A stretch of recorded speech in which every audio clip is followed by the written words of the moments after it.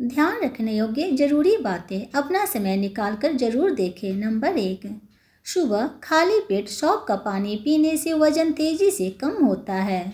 इसका असर आपको 10 से 15 दिनों के अंदर ही दिखने लगेगा।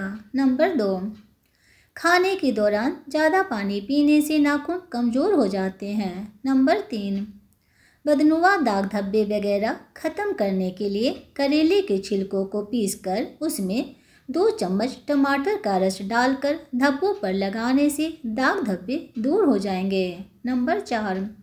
शाम को प्याज का सेवन करने से बावासीर जैसी बीमारी हो सकती है। नंबर पाँच। जम्हाई लेते वक्त कभी अंगराई मत लेना, वरना ज़ुबान को कुछ देर के लिए लकवा हो सकता है। नंबर छः। एक छोटा सा टुकड़ा अनार के छिलकों को चबाने से पुराने से पुरानी खांसी और एलर्जी दूर हो जाती है। नंबर सात। अंगूर खाने के बाद ऊपर से पानी हरगिज न पिए, इससे हैजा हो सकता है। नंबर आठ। कच्ची गाजर खाने से खून गाढ़ा नहीं होता है। नंबर नौ। पालक खाकर सो जाने से नींद ठीक तरीके से नहीं आती है। नंबर दस। ठंडा पानी पीने के बाद चाय बिल्कुल न पिए। नंबर ग्यारह। अगर आप चूहों से तंग आ गए हैं तो चूहे के बिल के पास खाली अंडे का खोल रख दें। चूहे भाग जाएँगे। नंबर बारह। अगर पेट बहुत ज़्यादा बढ़ गया है तो लहसुन के रस से पेट की मालिश करें।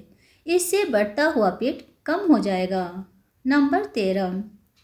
डिप्रेशन की बीमारी हो तो पुदीने की खुशबू सूंघे। लाभ होगा। नंबर चौदह। बासी मुँह सेब खाने से कब्ज खत्म होती है। नंबर पंद्रह। बादाम का तेल बालों को पोषण देता है। बादाम के तेल से बालों की अच्छी तरह से मसाज करें। कुछ ही दिनों में सफ़ेद बाल काले हो जाएँगे। नंबर सोलह। प्याज के रस को नारियल के तेल में मिलाकर बालों को धोने से एक घंटा पहले लगाना चाहिए। ऐसा करने से बालों का झड़ना बंद हो जाता है और बाल घने, लंबे और मुलायम हो जाते हैं। नंबर सत्रह। चेहरे पर रात को रोज़ाना कच्चा दूध से मालिश करने से स्किन में निखार आ जाता है। नंबर अठारह। गर्भावस्था के दौरान महिलाओं का पाचन तंत्र इम्यूनिटी सिस्टम संवेदनशील हो जाता है।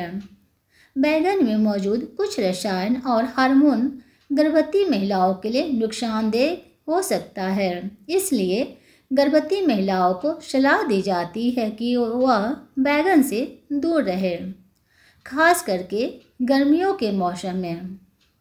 नंबर उन्नीस, चेहरे पर नेचुरल गुलाबी निखार के लिए दो चम्मच गुलाब के फूल के पाउडर में एक चम्मच एलोवेरा जेल और एक छोटा चम्मच कच्चा दूध मिलाकर फेस मास्क का पेस्ट तैयार कर लें और इसे चेहरे पर लगाएँ।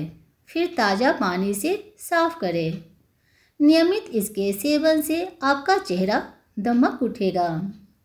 नंबर बीस। चने की दाल के पानी से चेहरे को धोने से चेहरे का रंग साफ़ हो जाते हैं। नंबर इक्कीस। यदि आपको किसी भी कारण से नींद नहीं आ रही है तो रात को भोजन के बाद सोने के आधा घंटा पहले हल्दी वाला दूध पी लें।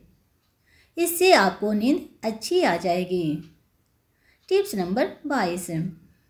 यदि आपके हाथ और पैर कांपते हैं तो रात में खाने के बाद दो लौंग चबाकर गर्म पानी या दूध पी लें। इससे आपको लाभ होगा। नंबर तेईस। अगर आपको जुकाम है तो कपूर को रुमाल में रखकर रुमाल को सूंघना चाहिए। इससे जुकाम में आराम मिलता है। नंबर चौबीस। अगर आप अपना वज़न कम करना चाहते हैं तो हरे केले का सेवन करें। केला फाइबर से भरपूर होता है, जो भूख को कंट्रोल करता है और बॉडी को एनर्जी देता है। इसमें कैलोरी की मात्रा कम होती है, जो वज़न को कंट्रोल करने में हमारे सहायक होता है। नंबर पच्चीस। सीने में दर्द की दिक्कत रहती है तो अजवाइन की धुनी लेने से दर्द में आराम मिल जाता है। नंबर छब्बीस। जिस घर में नींबू का पौधा होता है, वहाँ मच्छर कम आते हैं। नंबर सत्ताईस। किशमिश के सेवन करने से चेहरे पर चमक आती है और साथ ही शरीर में खून की कमी भी नहीं होती है। नंबर अट्ठाईस। हल्दी के पानी को नियमित रूप से पीने से आप अपनी बढ़ती हुई उम्र को रोक सकते हैं। इसमें मौजूद गुण फ्री रेडिकल से लड़ने में सहायता करते हैं, जिसकी वजह से शरीर पर उम्र का असर धीरे धीरे पड़ता है। नंबर उनतीस। नारियल के तेल में नींबू का रस मिलाकर लगाने से बाल जल्दी बढ़ते हैं। नंबर तीस।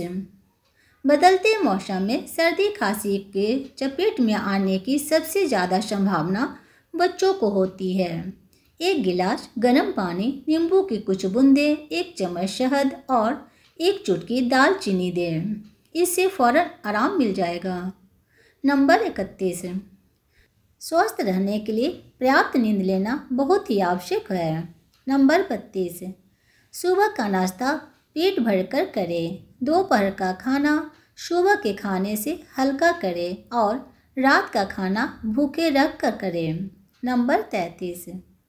अगर किचन की टाइल्स पर किसी तरह के दाग धब्बे हैं तो दाग धब्बों को पहले सिरके से पोंछकर उसके बाद गर्म पानी में साबुन मिलाकर साफ़ करें। नंबर चौंतीस जो महिलाएँ पेट के बल सोती है, उनके कंधे और गर्दन के मांसपेशियों में खिंचाव आने लगते हैं और पेट के बल सोने के कारण कंधों के जॉइंट्स पर भी दबाव पड़ता है, जिससे महिलाओं के कंधे और गर्दन में दर्द होने लगते हैं। जिन्हें जोरों में दर्द रहता है, उन्हें पेट के बल नहीं सोना चाहिए।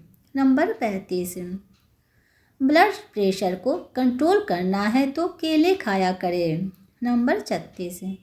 घर के मुख्य द्वार पर आम के पत्ते लटकाने से परिवार को बुरी नज़र नहीं लगती है। साथ ही घर में नकारात्मक ऊर्जा का वास नहीं होता है। नंबर सैंतीस। कपड़े को खारे पानी से धोए। कपड़े चमक उठेंगे। नंबर अड़तीस। दांतों में यदि सुराख हो गए हैं तो कपूर को महीन पीसकर दांतों पर उंगली से लगाए और उसे मले।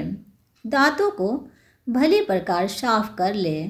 फिर सुराखों के नीचे कपूर को कुछ समय तक दबा कर रखें।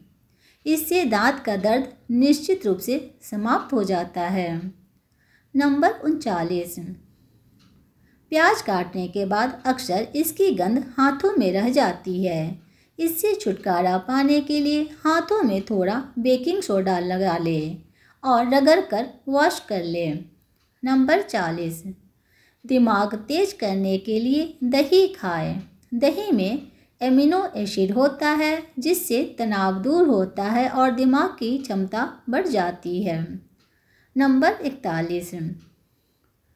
अजवाइन के तेल से मालिश करने से जोड़ों के दर्द में आराम मिलता है। नंबर बयालीस। ज़ीरो को बारीक पीस लें। इस चूर्ण को तीन तीन ग्राम गर्म पानी के साथ दिन में दो बार सेवन करने से पेट के दर्द तथा बदन दर्द से छुटकारा मिलता है। नंबर तैतालीस। सूखे तेजपत्ता को बारीक पीसकर इस चून से हर तीसरे दिन एक बार मंजन करने से दांत मोतियों की तरफ़ चमकने लगते हैं। नंबर चौवालीस। होठों पर छाले होना इनहाइजेनेशन विटामिन सी और विटामिन ट्वेल्व की कमी तथा डस्ट इन्फेक्शन से हो सकते हैं। नंबर पैंतालीस।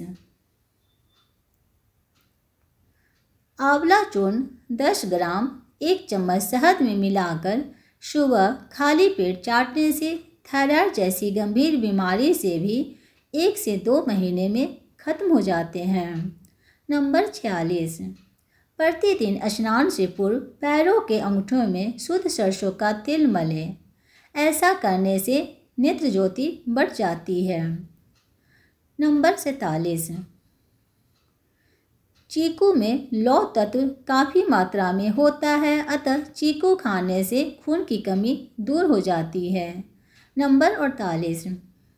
जिन्हें बार बार उल्टी आ रही है उन्हें बर्फ़ चूसना चाहिए। इससे उल्टी होना बंद हो जाता है। हैजे की उल्टियों में भी यह प्रयोग लाभदायक होता है। दोस्तों, मेरी टिप्स यहाँ पे ख़त्म हुई। मेरी टिप्स आपको कैसी लगती है, ज़रूर बताएँ। अगर अच्छी लगती है तो प्लीज़ लाइक करें।